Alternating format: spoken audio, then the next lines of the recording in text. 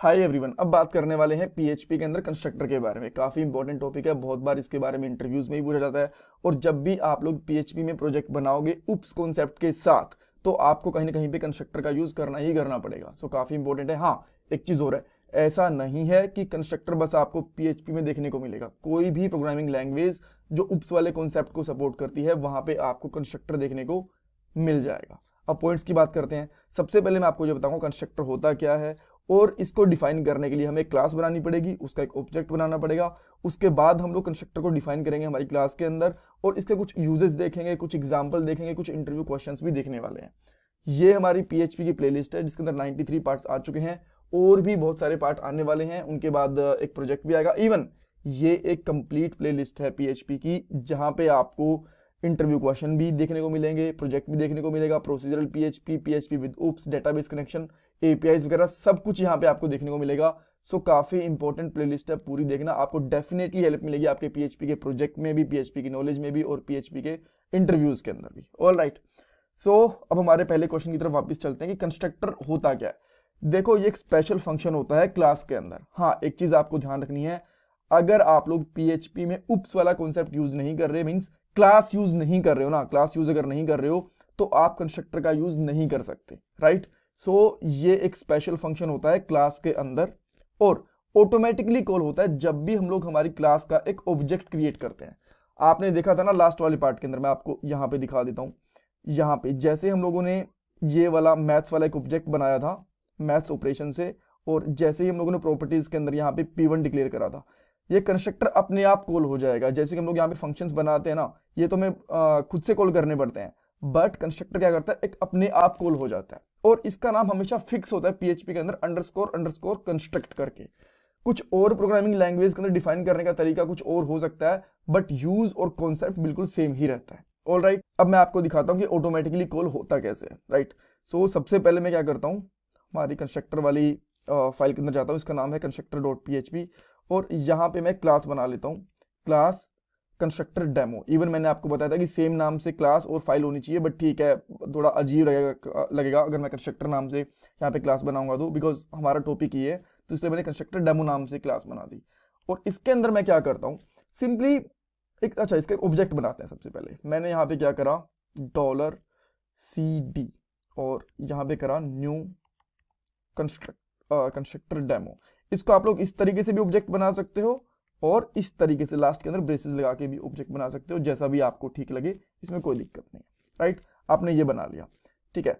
अब मैं अगर यहाँ पे कोई फ़ंक्शन कॉल कर, बनाता हूँ, मान लो मैंने यहाँ पे नाम लिखा सेट नेम ये मैंने रखा, और इसके अंदर मैंने करा दिस इसके अंदर मैंने कुछ भी, मान लो को प्रिंट करवा दिया हेलो इस तरीके से राइट तो क्या करना पड़ेगा? मुझे फ़ंक्शन कॉल करना पड़ेगा, यहाँ पे करूँगा सी डी और यहाँ पे इसका नाम रखूँगा सेट नेम, इस तरीके से। तब ये कॉल होगा ना, और इसको एक बार के लिए चेक भी कर लेते हैं।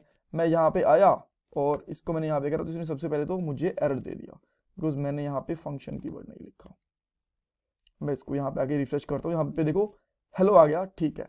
बट अगर मैं इसको यहाँ पे कॉल नहीं करता हूँ तो ये तो फ़ंक्शन कॉल होगा ही नहीं राइट right. बट जैसा मैंने आपको बताया, जो कंस्ट्रक्टर होता है ना, हमारा एक ऐसा फ़ंक्शन होता है जो ऑटोमेटिकली कॉल होता है। मैं आपको दिखाता हूँ कैसे। इसको मैं यहाँ से हटा दूँ एक बार के लिए। मैंने यहाँ पे क्या करा, एक फ़ंक्शन बनाया फ़ंक्शन अंडरस्कोर अंडरस्कोर कंस्ट्रक्ट इस नाम से राइट और इसको इस तरीके से मैंने ब्रेसिस दे दिए। एंड देन इसके अंदर मैंने कुछ भी लिख दिया, मैंने यहाँ पे लिख दिया लेट्स इस यहाँ कर देता हूँ कंस्ट्रक्ट कोड इस तरीके से राइट और अब हम लोग यहाँ पे आते हैं और इसको मैं जैसे यहाँ पे करता हूँ तो देखो ये अपने आप कॉल हो गया। मैंने क्या इस फ़ंक्शन को यहाँ पे कॉल करा? नहीं करा ना, अपने आप कॉल हो गया। तो कंस्ट्रक्टर ये होता है, एक स्पेशल फ़ंक्शन होता है। अगर इसका नाम आप लोग यहाँ पे लिख दोगे कंस्ट्रक्ट वन तो ये कॉल नहीं होने वाला तो आपको मैनुअली कॉल करना पड़ेगा बिकॉज़ ये कंस्ट्रक्टर रहा नहीं अब। अब ये कंस्ट्रक्टर है, और ये ऑटोमेटिकली कॉल होगा, हमेशा इसी नाम से बनाना होता है।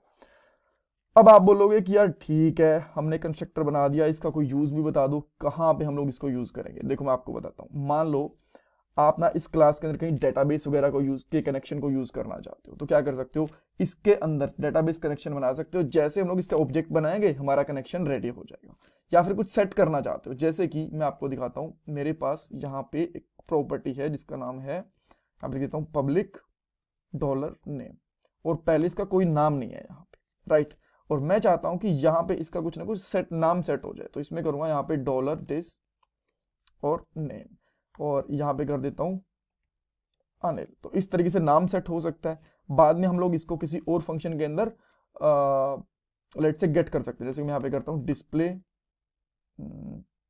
फ़ंक्शन लिखूँगा। डिस्प्ले नेम से। और बाद में इसको यहाँ पे क्या करवा सकता हूँ? Echo dollar this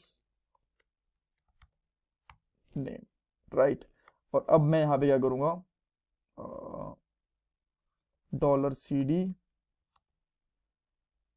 display name ये फ़ंक्शन मैंने गोल कर दिया राइट तो अब इसके अंदर नाम चेक करता हूँ तो क्या मिलेगा मुझे? सबसे पहले तो मिल रहा है मुझे एरर बिकॉज़ यहाँ पे हमने सेमिकोलन नहीं दिया था। देखो, अनिल मिल गया, जैसे हमने गोल कर। तो इसके अंदर नाम सेट हो गया। इवन इसको आप बोलोगे, यहीं पे सेट कर दो, जो ये नाम है ना, अनिल, यहीं पे सेट कर दो फिर। इस तरीके से।